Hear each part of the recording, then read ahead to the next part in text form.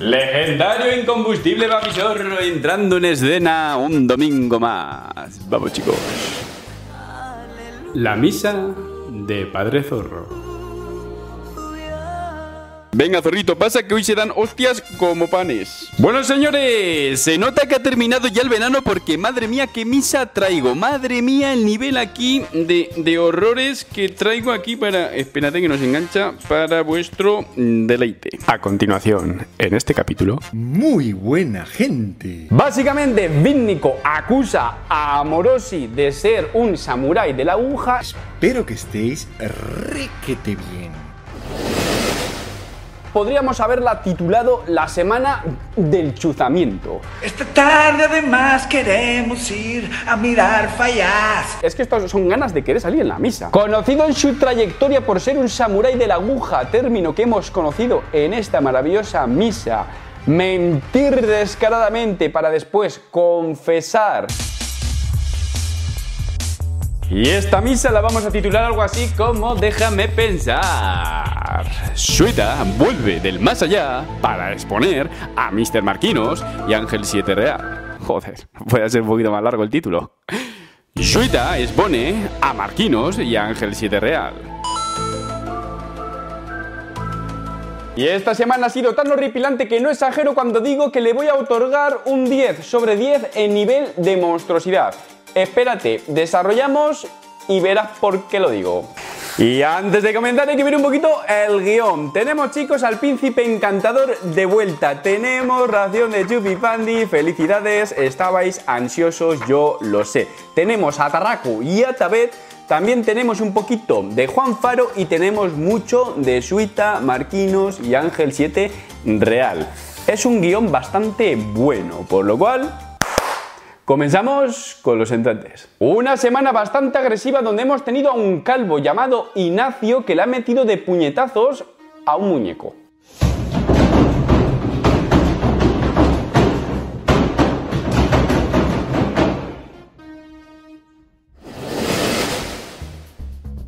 La cosa es que le mete tremenda ráfaga de puñetazos y después cita a Eneco Batman Science alguien que teníamos descansando en el banquillo en las últimas misas. ¿Y por qué formó parte de la Chupipandi? ¡Eneco!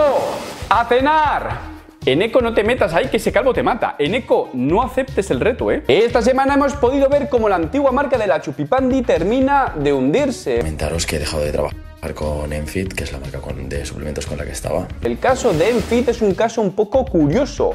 Parece ser que era como una especie de proyecto ambicioso rollo PSG que no ha salido bien. Yo no sé qué ha pasado, pero a mí me da por pensar eso. Rollo, fichamos a muchos influencers de gran calibre, les ponemos unas buenas condiciones, después esto de vuelta eh, no sale rentable porque quizás no vendan tanto como esperábamos y en cambio tenemos unas fichas muy altas. Son suposiciones, no tengo ni idea, ¿eh? Bueno, algo sí tengo idea, algo sí, pero son suposiciones. Entonces es un proyecto que yo creo que se, que se está yendo a pique. Esta semana se ha ido una chica que se llama Sariadna, una chica que inevitablemente tengo que comentar que se parece mucho a Lidia Valentín. La semana pasada se había adelantado ya que había dejado de trabajar con Enfit. Después se ha ido también Adri Airlines, un culturista con mucho caché porque es campeón del mundo y creo que este era un fichaje bastante bueno, pues también abandona el barco. Pero básicamente eh, comentaros que he dejado de trabajar con Enfit, que es la marca de suplementos con la que estaba, la única marca con la que he estado desde hace, pues, no sé, un par de años más o menos. Siguiente en tanto, señores, y me veo en la obligación de avisar que mucho cuidado. A partir de ahora, en un par de minutos, muchísimo cuidado. Te lo advertí, ¿eh? Que según cuál elegís, yo me pongo a editar, pero ya, esta tarde además queremos ir a mirar fallas. Oh yeah, oh yeah, baby, let's go. Príncipe encantador, si quieres salir en la misa, me escribes y me dices, papizorro, sácame la misa y yo te saco. Cualquier cosa. No hace falta que cojas toda tu dignidad y la machaques. Dios mío. Ay, Operación Fitness. Oh, yeah. Oh yeah, baby. Y esto, señores, es la comunidad fitness en España, pero luego yo soy el malo. Yo todos los dislikes para mí, ¿sabes cómo te digo? Y son ellos los que os proporcionan pesadillas. Porque ahora a ver quién te quita esto de la cabeza, ese señor cantando. Es que me encanta esta comunidad. ¿Alguna vez alguien dijo, te quedarás sin contenido, babisorro? Esto no puede ser eterno. Pero si te cantan, Oh yeah, oh yeah, baby. si te cantan, ¿cómo no va a ser eterno? Cantan. Oh yeah, oh yeah, baby. Esta semana también hemos tenido a un Juan Faro un poco rebelde, ¿no? Esto el tema de las vacunas, hay gente que se pone un poquito, un poco orgullosa, ¿no? En plan, en plan, en plan que vayas a su casa y se la pongas, a poco más. Juan, te puedes calmar. Yo te quiero, pero es que no te calmas. Eh, no estoy vacunado. Porque nadie me ha llamado. Juan se debe pensar que él tiene alguna distinción especial frente al resto de los mortales porque a él hay que llamarle. A él se le avisa. A poco más, vacunas a domicilio. No vaya a ser que se tengan que levantar del sofá. Porque nadie me ha llamado. Juan, por favor. Juan, un mensaje para el gobierno de España. Gobierno de España, escúchame. A Juan, cuando tenga que renovar el DNI, le llamáis. Cuando tenga que renovar el pasaporte, le llamáis. Cuando tenga que renovar el carnet de conducir, le llamáis. Coño, no va a ser que tenga que molestarse, hombre. Porque nadie me ha llamado. Para eso ya estamos el resto. Juan, tú tranquilo. El gobierno te avisa. Te van a llamar. Aupa al Estado. El día que me tenga que morir, yo no me muero si no me llaman. El día que me toque morir, no me moriré porque no me han llamado. Juan, eres el mejor del mundo, ¿eh? Que nadie te diga lo contrario, pero Juan, recuerda, no me voy a morir a no ser que me llamen. Oye, mira, que te amamos porque te tienes que morir a las 6 de la tarde. Entonces me muero. Eh, no estoy vacunado. Porque nadie me ha llamado. Venga, señores, comenzamos con los entrantes bien horrorosos porque esta semana podríamos haberla titulado la semana del chuzamiento. Parece ser que lo del chuzamiento nunca pasa de moda. Mucha gente dice, a mí me da igual que este o aquel se chuce.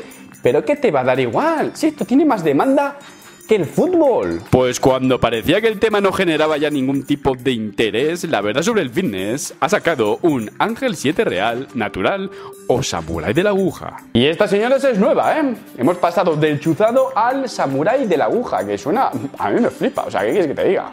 Puro marketing. La semana viene cargadita porque después tenemos un vítnico señalando un Roberto Amorosi natural o chuzado por detrás. Y luego, como colofón final y perla más brillante de esta corona calva, tenemos lo de Suita, que bueno, bueno, se han montado ahí un lío del copón. Entonces, es la semana del chuzamiento. La cosa es que el emperador le ha hecho una respuesta al señor Vítnico. Espérate, producción, creo que es un buen momento para poner la de los piratas. Me gusta bastante, ¿eh? Le da un toque ahí bastante bélico. Porque el emperador Amolosi ha respondido con un vídeo que dice así: Respuesta a el experto en hipertrofia y chuzados. Y emoticono riéndose. Un emoticono riéndose que deja ver que aquí no va a haber prisioneros. Todo el mundo va a morir en esta guerra.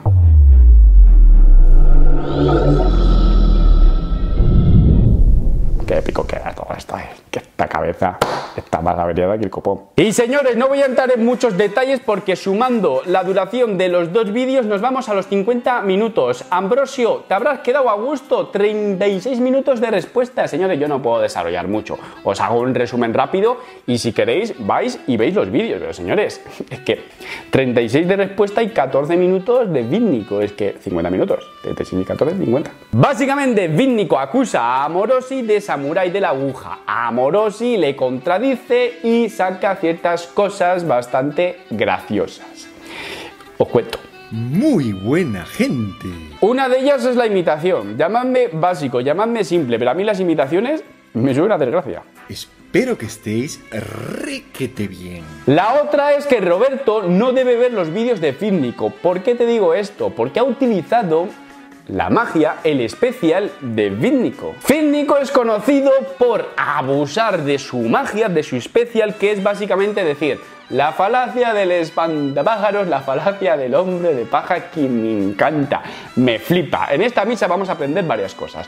Samurái de la aguja y falacia del espantapájaros, hombre de paja. Es maravilloso. Y esa es la magia de Vítnico, porque la utiliza muchísimo. Y pues eso, que Roberto no debe saber esto porque la ha utilizado él y queda como muy gracioso, ¿no? O sea, se Ryu y Ken tenían el Ayuken, que en verdad es Hauduken, ¿vale? Con una H, pero de toda la vida yo de niño dije Ayuken. ¡Pum! Y Vínnico tiene la falacia esta de- del hombre de paja.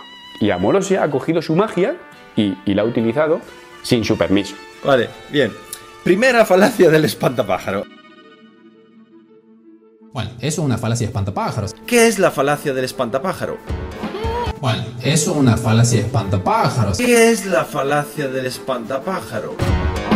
La falacia del hombre de paja. Que Roberto le ha arrebatado su mejor arma. Y ahora me imagino a Vínnico completamente desatado, histérico, no se calma, porque de verdad que es que Vínnico, lo, de, lo del espantapájaros y el hombre de paja, 24-7. O sea, tiene que estar en casa en plan, me han atacado con mi propia arma. Me han quitado mi palo y me han pegado con mi palo. Vínnico, cálmate. Sé que el vídeo ya va en camino, pero cálmate. Esta semana hemos tenido demasiados horrores porque Stroman Darraco, conocido por una frondosa barba de vikingo, subió un vídeo que dice así: Tabet desaparece, llega Greenfits. En resumidas cuentas, el vikingo de barba frondosa iba a traer como invitado para una colaboración a George Tabet, pero George Tabet le ha dado tremendas calabazas, le ha dejado plantado al vikingo esperando a su llegada y no llegó. La comunidad fitness es maravillosa y siempre ocurren las típicas recogidas de cable, bombas de humo, salimos, equipo, no vamos. Porque en un principio había un comentario de George Tabet dando ciertas explicaciones, un comentario que estaba fijado por el vikingo, un comentario que ya no existe a día de hoy y está el de Greenfish fijado. Motivos no lo sé, obviamente no lo sé. Quizás le estaban dando muchas chancletas voladoras a George Tabet por esas explicaciones que eran un poquito como que mm, excusa del típico niño que llega a clase sin la tarea y dice que el perro se ha comido los deberes. Y el profesor, venga chaval, vete para tu puta casa. Entonces, pues ya sabéis, creo que le han dado bastantes en zapatillas. Continuamos. Es maravillosa esta misa. Lo estás, lo estás viendo, ¿eh?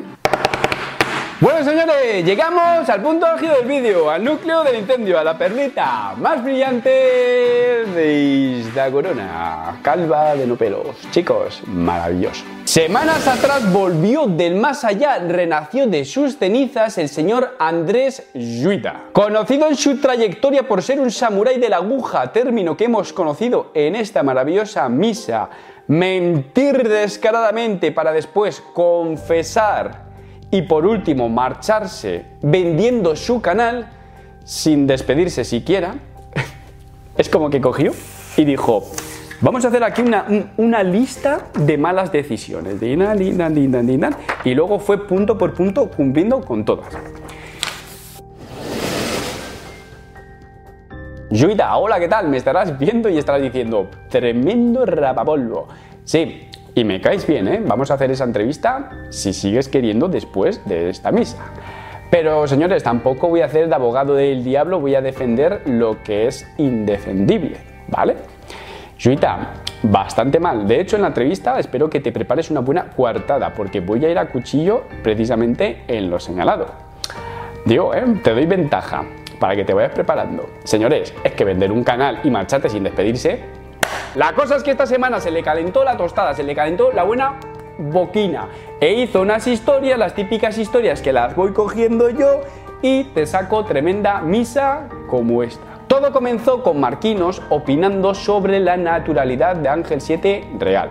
Y es un caso, por ejemplo, que está mucho mejor que yo.